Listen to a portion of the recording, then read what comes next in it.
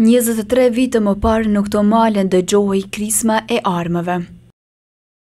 Ishte 24 dhjetori i vitit 1998, kur filluan betejat e pareshtura në zonën operative të Llapit, ndërsa Llapashtica ishte shndërruar në një kala të pathyeshme për tre muaj radhazi. Sot mbushen njëzet e tre vite nga beteja e Llapashticës, betejë në të cilën ranë heroikisht dhjetë dëshmorë të Llapit.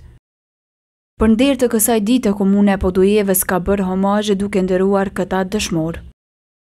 Po, në vazhdën e kësaj beteje të lavdishme të Ushtrisë Çlirimtare të Kosovës, betejës së Llapashticës, në njëzet e tre vjetorin e saj, ne si institucione të Komunës, bashkëpunim me shoqatat e dala nga lufta, Kemi bo organizim të tri aktiviteteve kryesore, njëni ishin homazhet në lagjen e Kastratëve, atje në Obranç. Aktiviteti i dytë është homazhet te lapidari i dëshmorëve, edhe aktiviteti i tretë do të jetë në varrezat e dëshmorëve në fshatin Penuh. Në njërën nga betejat më të lavdishme të Ushtrisë Çlirimtare të Kosovës, në Tabet e Llapashticës po mbrohej populli shqiptar në luftën për çlirimin e Kosovës.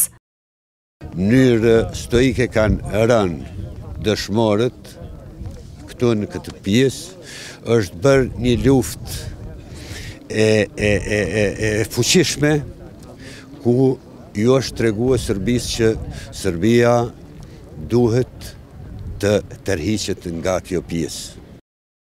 Ndërkaq në këto homazhe u panë të pranishëm familjarë e miq të dëshmorëve.